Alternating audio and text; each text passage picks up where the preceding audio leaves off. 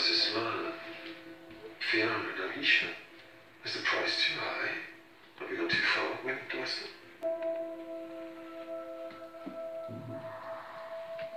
You happy, Cass? Yeah.